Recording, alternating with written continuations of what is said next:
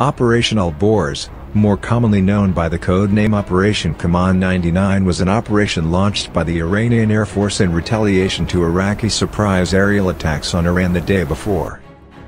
Involving nearly 200 aircraft, it is considered the largest operation carried out by the Iran Air Force. The outcome was clearly successful, as the Iranians achieved air superiority for the first years of the conflict. Welcome to the second episode of our series of the Iran-Iraq War. If you like documentary war simulation, don't forget to check out our channel. On 22 and September 23, 1980, Iraq launched surprise airstrikes on strategic locations in Iran employing a total of 166 to 192 fighter and bomber aircraft for a total of 250 sorties. At 1.45 p.m. local time, six Iraqi MiG-23 floggers bombed an Iranian airbase near Ahvaz. Half an hour later, Iraqi MiG-23s attacked Mehrabad Airport in Tehran.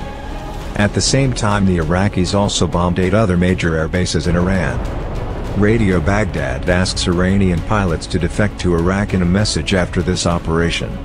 However, having learned from the Six-Day War, Iran had built hardened aircraft shelters where most of its combat aircraft were stored, thus the Iraqis succeeded mainly in cratering Iranian runways, without causing any significant damage to Iran's air force. Now the Iranian Air Force started preparing for a counterattack which was to be launched the next day. Two hours after this Iraqi attack, the Iranian Air Force conducted Operation Revenge bombing Shaiba, Umm Qasr and Qud air bases in Iraq.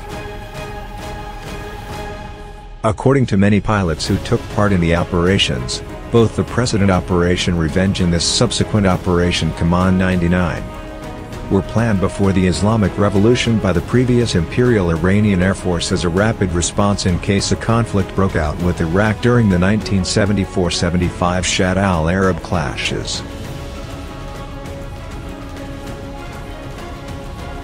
On September 23, 1980, Iran launched Operation Kaman 99 as 40 F-4 Phantoms, took off from Hamadan Air Base. After refueling in mid-air the Phantoms reached the Iraqi capital Baghdad, where they attacked Al-Rashid, Habaniya and Qud air bases. Meanwhile, eight more F-4s took off from Tehran's Mehrabad and launched a second attack on the Al-Rashid air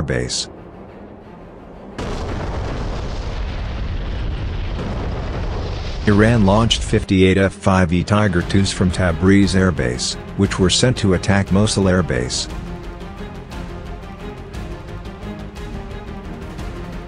After the attack on Mosul Air Base, 50 F-5s attacked Nasiriyah Air Base, which was heavily damaged.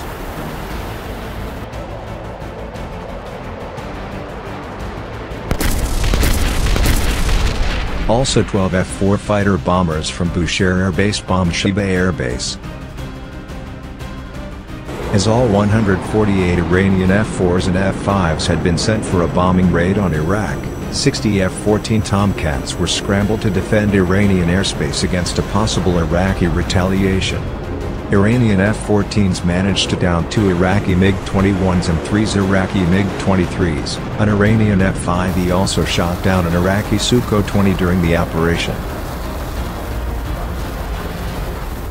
Involved in the operation, was the entire Iran Air Force operational fleet at that time. Saddam Hussein and the Iraqi military were dealt a heavy blow when Iranian Air Force vulnerabilities failed to materialize. All Iraqi air bases near Iran were rendered inoperable for months and, according to Iran, Iraq's aerial efficiency was reduced by 55%. According to most observers, this is one of the biggest air battles in history. This operation allowed the Iranians to regroup and prepare for the upcoming Iraqi invasion.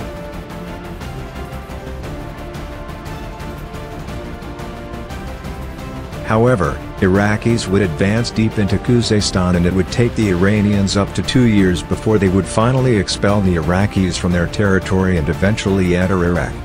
The war endured another six years, becoming the longest conventional war of the 20th century in which perhaps close to 1 million were maimed and killed. Thank you for watching, please don't forget to subscribe to our channel.